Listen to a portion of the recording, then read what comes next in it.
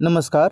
दृष्टि आई के audio article programme में आपका स्वागत है। आज का हमारा आर्टिकल, द हिंदू में छपी खबर, India invited to become full time IEA member और द इंडियन एक्सप्रेस में प्रकाशित खबर explain why global fuel prices are up how India is impacted के सम्मिलित सारांश पर आधारित है। इसमें टीम दृष्टि के इनपुट्स भी शामिल हैं। यह audio article GS paper three के आर्थिक विकास खंड से जुड़ा हुआ है। तो आइए लेख की शुरुआत करते हैं आईईए में भारत की पूर्णकालिक सदस्यता के निहितार्थ। हमारे वीडियो अंग्रेज़ी में देखने के लिए फॉलो करें। हमारा ही दूसरा यूट्यूब चैनल दृष्टि आई इंग्लिश हाल ही में ऑयल मिनिस्टर हरदीप सिंह पुरी ने अपने एक वक्तव्य में बताया कि आईईए यानी अंतर्राष्ट्रीय ऊर्जा एजेंसी ने भारत को अपना पूर्णकालिक सदस्य बनने के लिए आमंत्रित किया है। भारत दुनिया का तीसरा सबसे बड़ा इलेक्ट्रिसिटी कंज्यूमर देश है। दरअसल, पेरिस स्थित इस स्वायत्त अंतर सरकारी संगठन ने भारत की बढ़ती ऊर्जा ज़रूरतों को देखते हुए ये निर्णय लिया है। इस एजेंसी का मुख्य फोकस उन नीतियों पर है जिसमें आर्थिक विकास, ऊर्जा सुरक्षा और पर्यावरण संरक्षण आदि शामिल हैं। बदलते विश्व के साथ अब ऊर्जा ज़रूरतों में भी बदलाव आ रहा है। कोयला, तेल, नवीकरणीय ऊर्जा हाइड्रोजन एनर्जी के बाद, अब परमाणु ऊर्जा विश्व स्तर पर कार्बन मुक्त बिजली के सबसे बड़े योगदानकर्ताओं में से एक रही है और इसमें बिजली क्षेत्र के डिकार्बोनाइजेशन में योगदान करने की महत्वपूर्ण क्षमता मानी जा रही है। इस डायनेमिक परिवेश के साथ, भारत को भी अपनी नीतियों में बदलाव करने की ज़रूरत है। कोरोना जैसी महामारी ने इस ओर इशारा किया है कि किसी देश के लिए उसकी ऊर्जा या पेट्रोलियम रिज़र्व का होना कितना ज़रूरी है। आज हम इस आर्टिकल के ज़रिए चर्चा करेंगे कि आखिर अंतर्राष्ट्रीय ऊर्जा एजेंसी क्या है, यह क्या क्या काम करती है, इसके निर्माण की ज़रूरत क्यों पड़ी, और साथ ही ये भी जानेंगे कि भारत द्वारा इसकी पूर्णकालिक सदस्यता हासिल करने के क्या मायने हो सकते हैं। आइए बात करते हैं अंतर्राष्ट्रीय ऊर्जा एजेंसी के बारे में। उन्नीस चौहत्तर के तेल संकट के बाद पूरी दुनिया में कच्चे तेल के वितरण को लेकर कई समस्याएँ पैदा हुई। इसके चलते एक ऐसी संस्था की ज़रूरत महसूस की गई जो तेल आपूर्ति धारणीयता को बनाने में सहयोग दे सके और ऐसे मुद्दों के बेहतर संचालन के लिए सुझाव दे सके। साथ ही इस क्षेत्र से संबंधित नीतियों के निर्धारण में भी मदद की जा सके। इसी कल्पना के साथ अंतर्राष्ट्रीय ऊर्जा एजेंसी को फ्रांस के पेरिस में 1974 में स्थापित किया गया। यह एक स्वायत्त अंतर सरकारी संगठन है। इसके कार्य एवं नीतियों की बात करें तो आईईए की नीतियाँ इकोनॉमिक डेवलपमेंट यानी आर्थिक विकास एनर्जी सिक्योरिटी यानी ऊर्जा सुरक्षा और इन्वायरमेंटल प्रोटेक्शन यानी पर्यावरण सुरक्षा जैसे मुद्दों पर केंद्रित होती हैं। मसलन, इन्हें आईईए के थ्री ई के रूप में भी जाना जाता है। समय के साथ इसके अधिकारों का विस्तार, प्रमुख वैश्विक ऊर्जा प्रवृत्तियों पर नज़र रखने और उनका विश्लेषण करने साउंड एनर्जी पॉलिसी को बढ़ावा देने बहुराष्ट्रीय ऊर्जा प्रौद्योगिकी सहयोग को प्रोत्साहित करने के लिए हुआ है। यह एजेंसी अपने सदस्य देशों और उससे आगे उनके भविष्य के लिए विश्वसनीय, सस्ती और स्वच्छ ऊर्जा सुनिश्चित करने के मिशन के साथ काम कर रही है। भौतिकी के प्रसिद्ध वैज्ञानिक आइंस्टीन के मुताबिक दुनिया का सबसे प्रमुख जो सोर्स माना जाता है, वह ऊर्जा है। सही मायने में उन्होंने ही ऊर्जा की अहमियत को समझा और पूरी दुनिया को इसके बारे में बताया। आज वही ऊर्जा पूरी दुनिया की प्रमुख ज़रूरत बनकर उभरी है।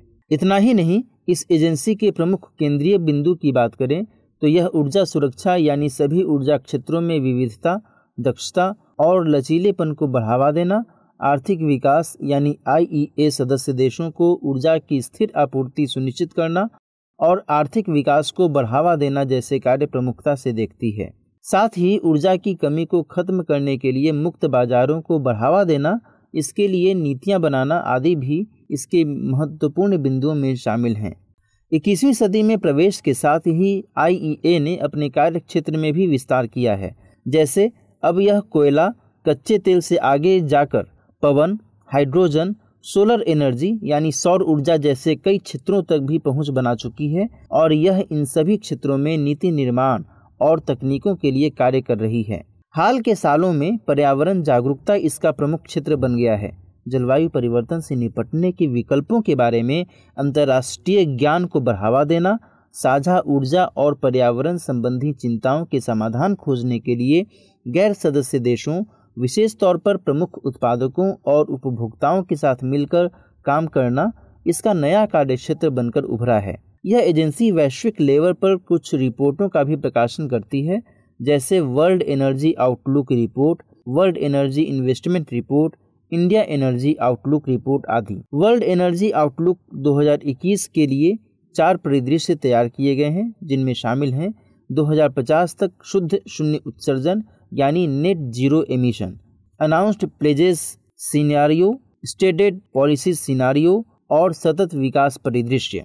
आपको बता दें कि यह एजेंसी 30 देशों से मिलकर बनी है यह सभी की ऊर्जा ज़रूरतों को देखते हुए उनके लिए ऊर्जा तक पहुँच बनाने और दुनिया भर के करोड़ों लोगों के लिए बिजली की कमी के बीच के अंतर को कम करने के लिए काम कर रही है। विकसित देशों की तुलना में भारत जैसे विकासशील देशों में यह अंतर काफ़ी अधिक है। ऐसे में जानेंगे कि भारत द्वारा आई के पूर्णकालिक सदस्य बनने के क्या मायने हैं और भारत किन अर्हताओं के साथ इस अंतर्राष्ट्रीय ऊर्जा एजेंसी का सदस्य बन सकता है। बात करते हैं आईईए की पूर्णकालिक सदस्यता के मायने के कॉन्टेक्स्ट में। भारत एक उभरती ऊर्जा शक्ति है। यहाँ ऊर्जा का उपभोग दिनों दिन बढ़ ही रहा है। यह ऊर्जा का एक प्रमुख आयातक देश भी है। भारत मार्च 2017 में आईईए का एक सहयोगी सदस्य बना था, लेकिन यह संगठन के साथ जुड़ने से बहुत पहले ही आईईए के साथ जुड़ा हुआ था। गौरतलब है कि इस साल जनवरी में आईईए के सदस्य और भारत ऊर्जा सुरक्षा और स्वच्छ ऊर्जा संक्रमण सहित कई महत्वपूर्ण क्षेत्रों में अपने सहयोग को मज़बूत करते हुए एक रणनीतिक साझेदारी में प्रवेश करने पर सहमत हुए हैं। भारत आईईए रणनीतिक साझेदारी के स्वाभाविक परिणाम के तौर पर आईईए ने भारत को पूर्ण सदस्य बनकर आईईए के साथ अपने सहयोग को गहरा करने के लिए आमंत्रित किया है। इस एजेंसी के आठ सहयोगी सदस्यों में भारत, ब्राज़ील, चीन, सिंगापुर दक्षिण अफ्रीका, इंडोनेशिया, मोरक्को और थाईलैंड शामिल हैं। इसके अलावा चार देश, चिली, कोलंबिया इसराइल और लिथुआनिया पूर्ण सदस्यता में शामिल होने की मांग भी कर रहे हैं। ऐसे में भारत के लिए आमंत्रण एक बेहतर कदम माना जा रहा है। भारत को सदस्यता देने के कारणों की बात करें तो वैश्विक ऊर्जा प्रवृत्तियों में भारत तेज़ी से प्रभावशाली होता दिख रहा है। भारत की ऊर्जा नीतियों पर इसकी इन डेप्थ रिपोर्ट जिसे 2020 के जनवरी में जारी किया गया था, उसमें कहा गया है कि आने वाले दशकों में देश की ऊर्जा की मांग तेज़ी से बढ़ने की संभावना है। रिपोर्ट में यह भी रेखांकित किया गया था कि बिजली का उपयोग तेज़ी से बढ़ने वाला है। ईंधन आयात पर देश की निर्भरता, भारतीय अर्थव्यवस्था के लिए ऊर्जा सुरक्षा की प्राथमिकता में सुधार करती है। भारत का इस एजेंसी में शामिल होना भारत की ऊर्जा ज़रूरतों को पूरा करने में सहायक बना सकता है। चूँकि आई अब हाइड्रोजन नाभिकीय, सौर और पवन ऊर्जा पर तेज़ी से काम करने पर ध्यान दे रही है, ऐसे में भारत को केवल कच्चे तेल पर निर्भरता को कम करने में यह सदस्यता बेहद अहम साबित हो सकती है। इस सदस्यता से आईईए की सभी तकनीकों को साझा करने में आसानी होगी। आईईए के एक रणनीतिक भागीदार के तौर पर भारत के लिए लाभों और जिम्मेदारियों में लगातार वृद्धि होगी। मसलन मौजूदा क्षेत्रों और क्लीन एनर्जी ट्रांजिशन प्रोग्राम यानी सीईटीपी पर निर्माण, जैसे ऊर्जा सुरक्षा, स्वच्छ और टिकाऊ ऊर्जा ऊर्जा दक्षता, पेट्रोलियम भंडारण क्षमता में वृद्धि, भारत में गैस आधारित अर्थव्यवस्था का विस्तार आदि में सहयोग हो सकेगा। भारत के लिए ऊर्जा का भंडारण और इसका उपयोग मौजूदा वक्त की ज़रूरत है। ऐसे में हम जानेंगे कि आईईए में शामिल होने के पात्रता मानदंड क्या कुछ हैं। ऊर्जा सुरक्षा के मद्देनज़र आइए जानते हैं वे कौन से क्राइटेरिया हैं जिन्हें पूरा कर भारत आईईए का पूर्णकालिक सदस्य बन सकता है। बात करते हैं आईईए की सदस्यता के लिए क्राइटेरिया की। भारत अपनी विशाल जनसंख्या के बेहतर जीवन यापन के लिए ऊर्जा पर निर्भर है। इसके लिए भारत बहुत बड़ी मात्रा में अन्य देशों पर भी डिपेंडेंट है। हालाँकि भारत के अपने स्वयं के कुछ पेट्रोलियम रिज़र्व तो हैं और भारत अपनी भंडारण क्षमता बढ़ाने पर निरंतर काम भी कर रहा है। अंतर्राष्ट्रीय ऊर्जा एजेंसी की पूर्णकालिक सदस्यता के पात्रता मानदंडों के अनुसार आईईए में शामिल होने वाला देश आर्थिक सहयोग और विकास संगठन, यानी ओ का सदस्य देश होना चाहिए। इसके अलावा भारत को अंतर्राष्ट्रीय ऊर्जा कार्यक्रम, यानी इंटरनेशनल एनर्जी प्रोग्राम पर समझौते के अनुसार कम से कम 90 दिनों के लिए शुद्ध तेल आयात के बराबर आपातकालीन तेल का स्टॉक रखना होगा। यानी आपात स्थिति में आपके पास कम से कम 90 दिन तक तेल उपयोग करने की क्षमता हो। आपके पास यानी भारत के पास।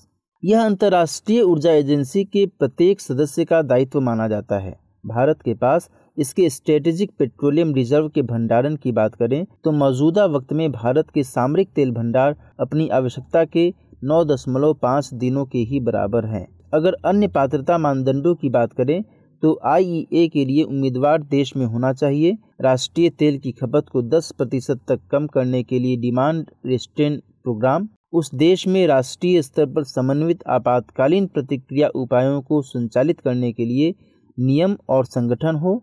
इसके साथ ही पात्र देश को आईईए सामूहिक कार्रवाई में अपने हिस्से का योगदान करने की क्षमता सुनिश्चित करनी होगी। यदि भारत आईईए का आमंत्रण प्रस्ताव स्वीकार करता है तो भारत को रणनीतिक तेल भंडार, यानी स्ट्रेटेजिक ऑयल स्टॉक को 90 दिनों की आवश्यकता तक बढ़ाने की ज़रूरत होगी।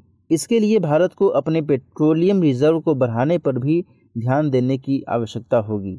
दुनिया की दूसरी सबसे बड़ी आबादी वाले देश के लिए यह मौजूदा वक्त की ज़रूरत बन गया है। इन सभी मुद्दों के मद्देनज़र आइए समझते हैं, क्या हो आगे की राह। ऊर्जा किसी भी देश के विकास का इंजन माना जाता है। किसी देश में प्रत्येक व्यक्ति होने वाली ऊर्जा की खपत वहाँ के जीवन स्तर का भी सूचक है। यही नहीं, आर्थिक विकास का भी ऊर्जा उपयोग के साथ बड़ा महत्वपूर्ण संबंध होता है। इसलिए भारत जैसी तेज़ी से बढ़ती अर्थव्यवस्था के लिए ऊर्जा जैसे महत्वपूर्ण क्षेत्र में आत्मनिर्भरता बहुत ज़रूरी है। अंतर्राष्ट्रीय कच्चे तेल के बाज़ार में होने वाली किसी भी अप्रत्याशित घटना से निपटने के लिए भारत की वर्तमान क्षमता पर्याप्त नहीं मानी जा रही है। एक दिन में लगभग पाँच मिलियन बैरल तेल की खपत के साथ देश का आधे से भी अधिक हिस्सा तेल पर निर्भर है।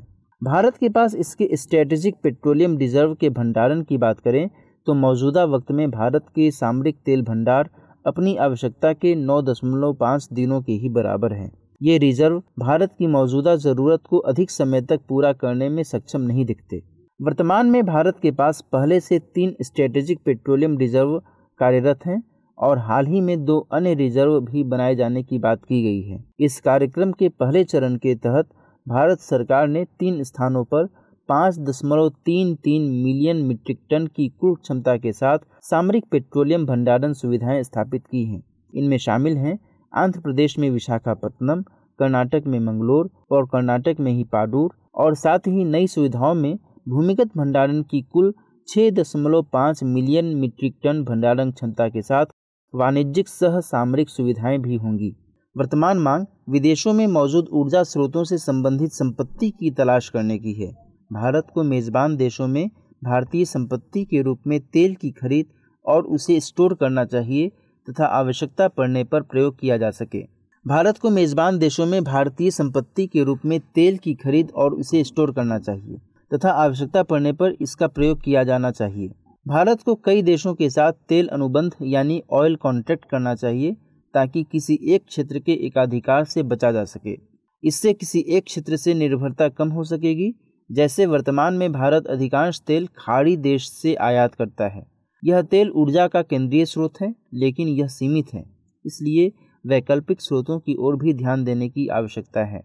हाल के वर्षों में आईईए वह वैश्विक एजेंसी के तौर पर उभरा है, जो ऊर्जा के पर्यावरणीय प्रभावों को लेकर जागरूक दिख रही है। आईईए के अनुमानों के मुताबिक, ऊर्जा दक्षता, स्वच्छ ईंधन और नवाचार वित्त पोषण के साथ साथ कम कार्बन उत्सर्जन और कुशल परिवहन में सरकारी खर्च में काफ़ी इजाफा हुआ है जो पर्यावरण के लिहाज से बेहतर कदम साबित होगा। नोट करते हैं आर्टिकल पर आधारित प्रश्न। प्रश्न है, भारत के अंतर्राष्ट्रीय ऊर्जा एजेंसी के पूर्णकालिक सदस्य बनने के निहितार्थ स्पष्ट कीजिए। बताएँ कि अंतर्राष्ट्रीय ऊर्जा एजेंसी के पूर्णकालिक सदस्य बनने के पात्रता मानदंड क्या क्या हैं?